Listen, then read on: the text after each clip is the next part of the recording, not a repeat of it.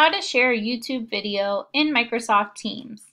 Microsoft Teams makes it very simple to integrate files and other content into your channels to share with your team.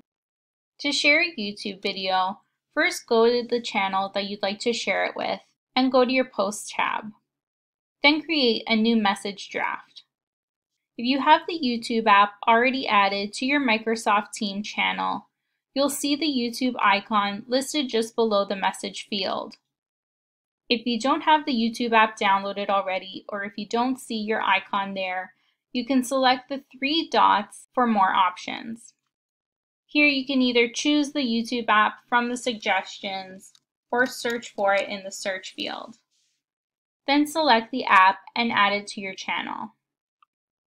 Once the app is added to your channel, select the YouTube icon and search for the video you would like to share.